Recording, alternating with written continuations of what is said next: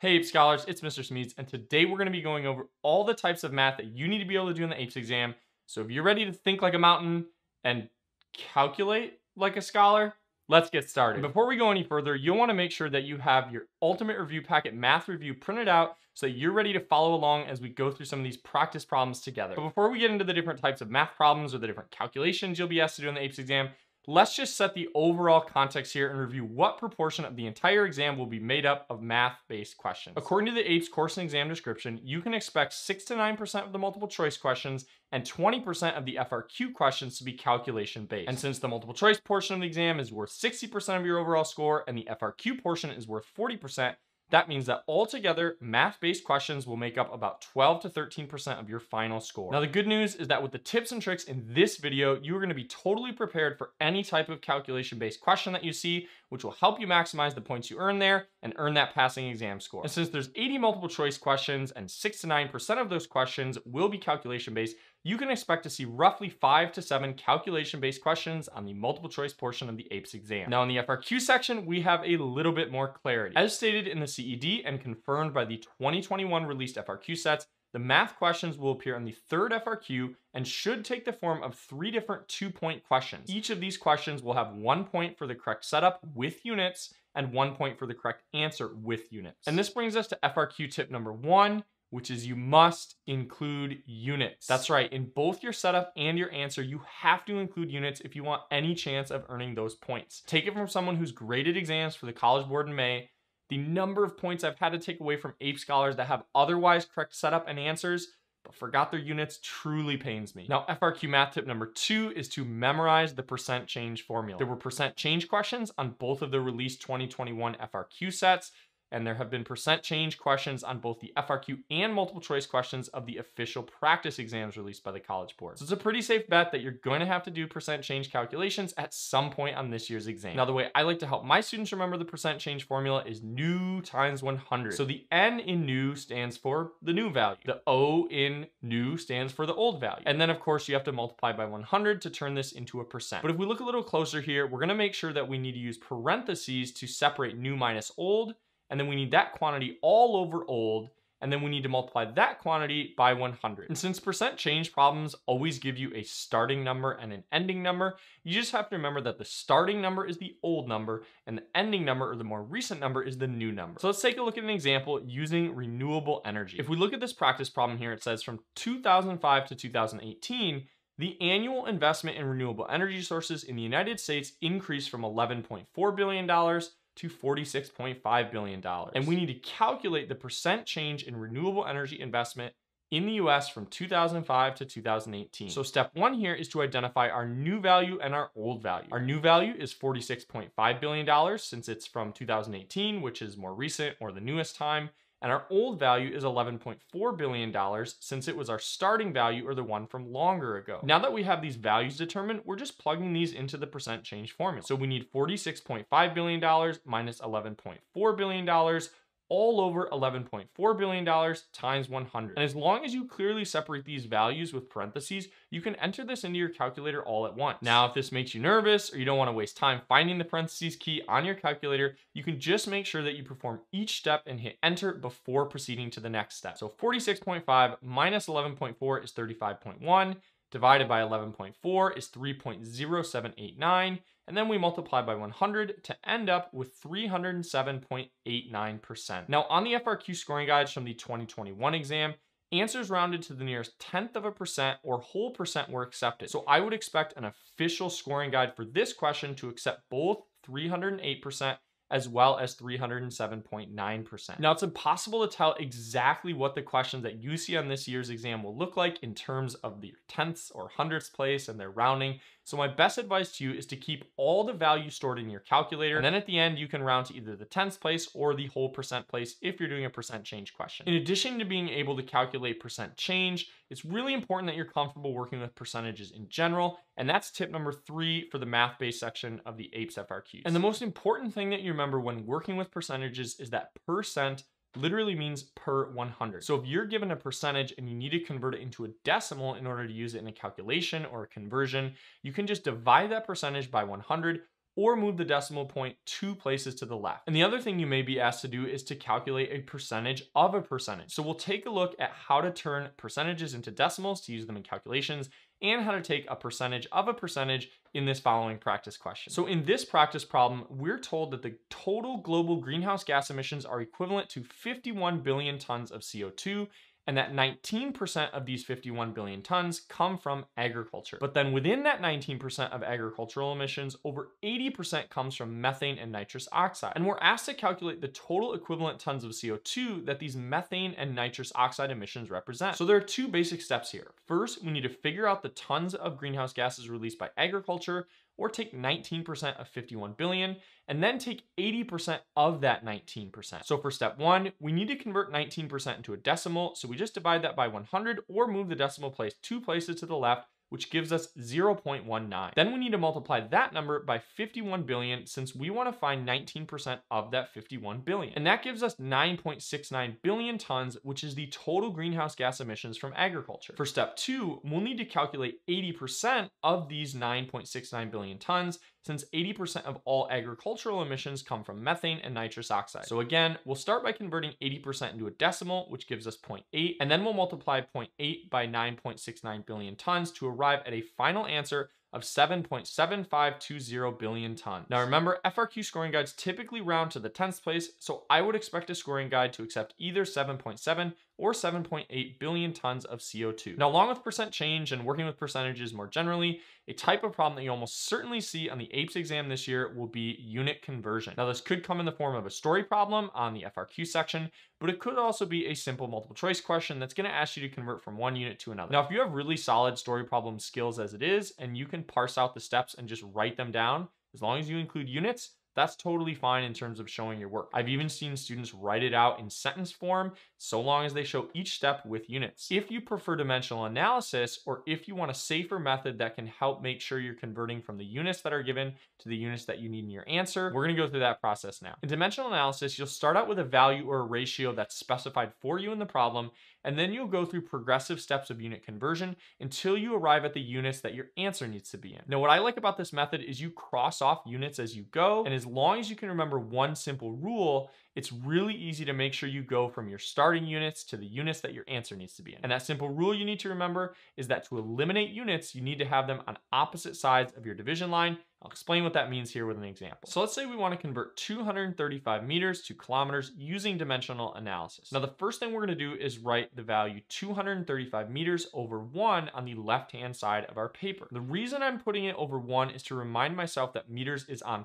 top of this ratio or this fraction in my starting value so that I make sure I put meters on the bottom in my conversion factor. Now in this case, we have a really simple conversion factor, which is one kilometer being equal to thousand meters. But again, writing 235 over that one is gonna remind me that in my conversion factor, I'm gonna put meters on the bottom.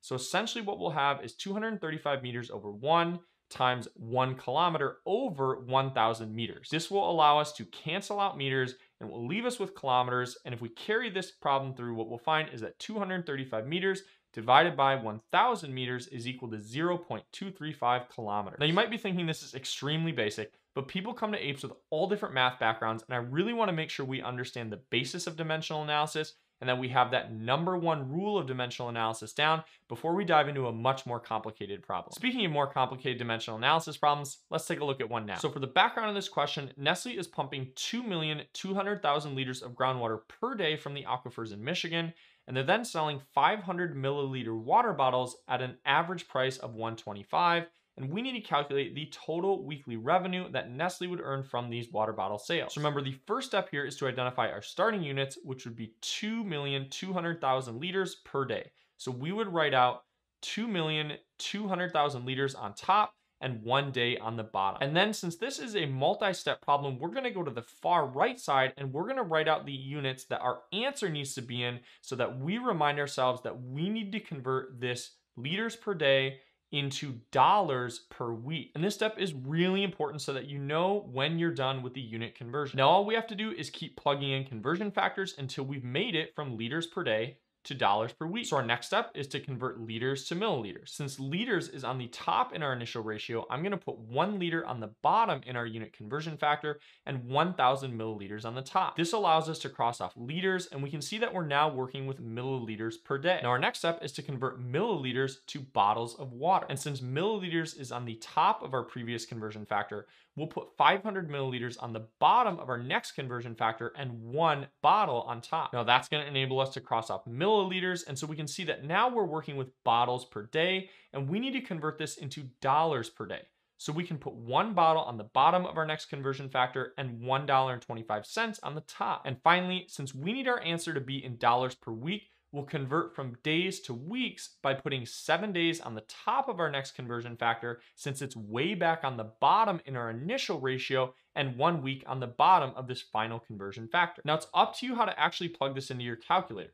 You can either multiply through everything on the top, multiply through everything on the bottom, and then divide the top by the bottom, or you can go through step by step but just be careful that if you're multiplying through the entire top and the bottom, you keep those numbers separate. In this case, there's only one number on the bottom, so it's a little bit easier, but if we multiply through everything on the top and then divide by 500, we'll find that the weekly revenue is $38,500,000 per week. Now, just a quick word on the setup here. Some students may have learned what's called the railroad method of unit conversion, where you just draw one horizontal line and then you draw vertical lines separating each of your unit conversion factors. And you know then to multiply through everything on the top, multiply everything through on the bottom, and divide by each other.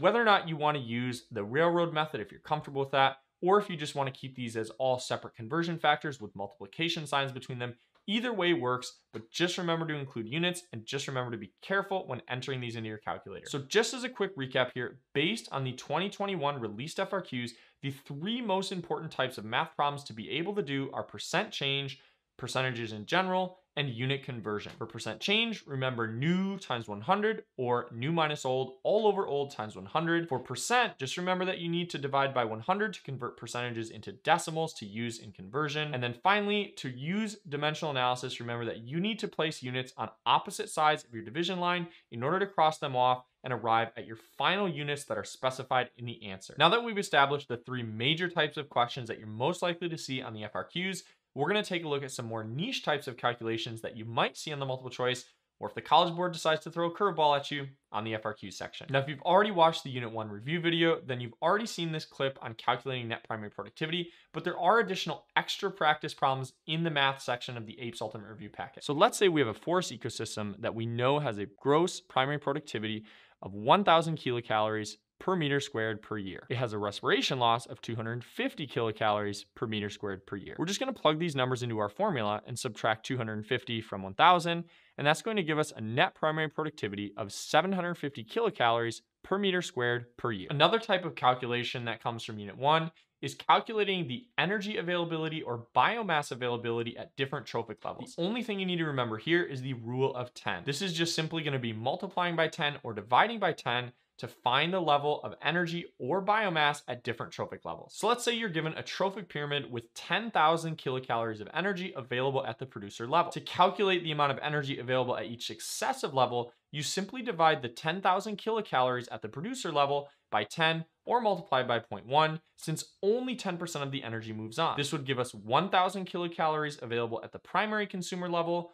100 kilocalories available at the secondary consumer level, and only 10 kilocalories available at the tertiary consumer level. Now, let's say you're given available energy at a higher level than the primary producer level. Well, to move down the pyramid, you simply multiply by 10 to determine the available energy at a lower trophic level. And if you're asked a similar question, but with biomass instead of energy, you can use the same exact process. The next type of calculation you may run into in the exam is calculating human population growth rates with CBR and CDR, or calculating the doubling time using the rule of 70. Now, if you've seen the Unit 3 video, then you've already seen this segment, but I did throw in a few extra practice problems to help you freshen up. To figure out the percent growth rate of a country, we subtract CDR from CBR and then divide that number by 10 because crude birth rate and death rates are per 1,000 and we want a percent, which means per 100. So let's try a practice problem here quickly.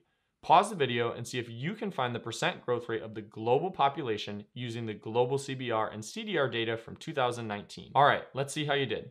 We're just gonna plug these numbers into the formula, and so that means we'll subtract 7.52, or the CDR, from 17.89, or the CBR, and that gives us a difference of 10.37. Then we'll divide that number by 10 to convert it into a percent, and that gives us a global population growth rate of 1.037%. Another type of calculation we need to do with populations is to determine the doubling time. Now there's a fun little apes trick for this called the rule of 70, and all it requires is that you divide 70 by the growth rate as a percent of the population. So if we wanted to figure out how many years it will take for the Earth's human population to double, we would just divide 70 by 1.037 and we'd find that it should take about 67.5 years. The next type of calculation isn't so much a type of calculation as much as it is a reminder about a special type of units called kilowatt hours. See, the main way that we measure electricity consumption is in kilowatt hours, which is actually a compound unit. Now, to understand what this means, it's helpful to remember that energy is actually a measure of power applied over time.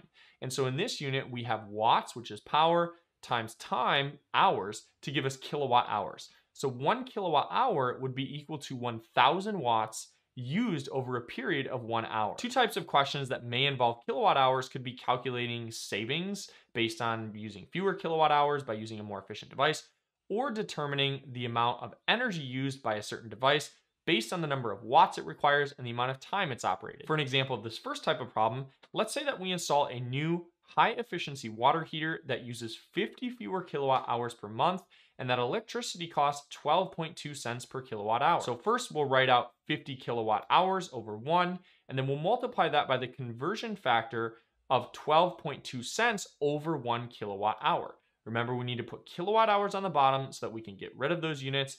This is gonna lead us to multiplying 50 by 12.2, which gives us an answer of 610 cents or $6.10. And if this seems really basic, again, I'm glad that means you had awesome math teachers but people come to APES in all four different grade levels in high school with all different math backgrounds, and I wanna make sure we're all prepared for that exam in May. Now, for the second type of problem, you may be given the wattage of a device and the duration of time that it's used for, and asked to calculate how many kilowatt hours of electricity it would consume. If that's the case, first convert your given watts to kilowatts by multiplying by one kilowatt over 1000 watts, which is the same thing as dividing by 1000 if you prefer to think of it that way, and then multiply that kilowatt value by time to arrive at an answer of kilowatt hours. Another energy-based type of math question you might see on the APES exam is calculating the half-life of a radioactive element. Remember that radioactive elements are decaying over time and actually losing mass. So the half-life is the amount of time measured in years that it takes for half of the initial mass of that radioactive element to decay. So let's look at a practice problem using the example of uranium-235, which is the isotope most commonly used for nuclear energy generation. It has a half-life of 704 million years. So in other words, 704 million years from now, a spent fuel rod will still emit half as much radiation as it does today. So let's say we want to figure out how much a 100 gram mass of uranium-235 would be left in 2 billion 112 million years. Now this might sound like an oddly specific number, and that's because it is. If we divide 2 billion 112 million by 704 million, we'll see that this represents three half-lives worth of time. And so we would divide our initial mass in half once to get 50 grams, divide it in half again to get 25 grams, and in half one more time to get 12.5 grams. Now you may also be given the change in mass over a given period of time, the length of time and asked to go backwards and calculate the half-life of that radioactive element. So let's say we have a 28 gram sample of plutonium-241,